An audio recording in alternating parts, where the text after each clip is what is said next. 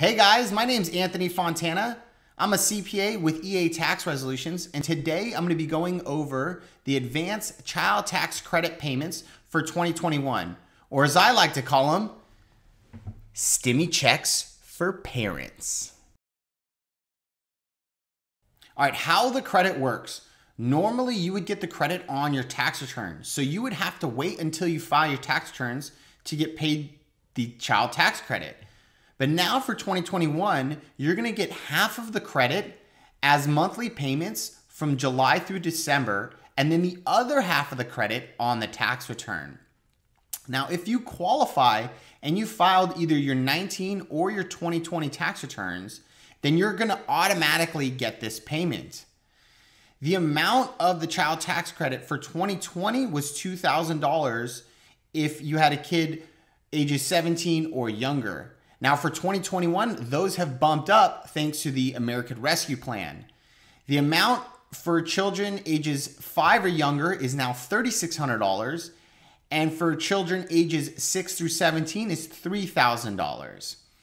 So that means the monthly payment or the maximum monthly payment that you're going to get for children ages five or younger is $300 a month from July through December.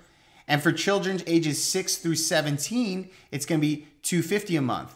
And that's either 300 or 250 per child.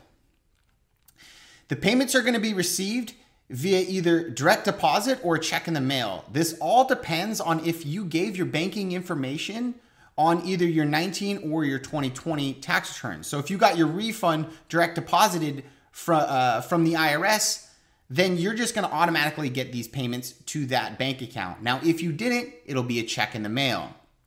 Now, for all you visual learners, this is what we just went over. Again, 2020, we have a $2,000 tax credit that was paid on the tax return itself. This is how it works for 2021 over here. Again, $3,600 for kids uh, five or younger, or 3,000 for kids ages six through 17. Half of it is going to pay get paid in six monthly payments as the STIMI check, and then the other half is going to go on the tax return. So that's what this comes out to. If you see this on a calculator here, right? $3,600. Half of it gets paid in monthly payments divided by six payments. There's that $300. That's how that works.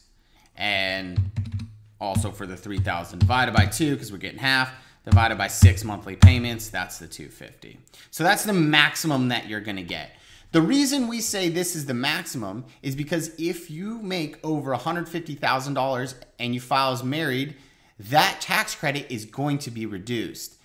It's 700 uh, sorry, it's $75,000 if you're filing as single and it's $112,000 if you file head of household. Any amounts over those, the, the credit starts getting reduced. Now, if you don't have a filing requirement, you can go online and sign up to get these these uh, advanced payments, these STIMI checks, if you didn't file your 19 or 20 return and you're not required to file.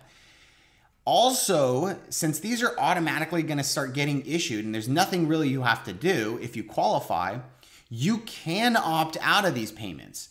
Now, the reason you'd want to opt out is let's say in 19 or 20, your income was below that threshold of 150 for married. And for 2021, hopefully you're making a whole bunch more money and maybe you won't qualify for these credits. You would want to opt out because then if we go file the return, you're going to have to pay the money back. Well, I hope this video was helpful for you guys. I know I've been getting all kinds of questions from friends and clients that uh, are very misled on how this thing works. Just trying to clarify that up for you. If this was helpful, please share this with everyone that you think uh, would benefit. Subscribe to our channel. Leave me a comment on anything else you'd like me to go over. Thank you so much.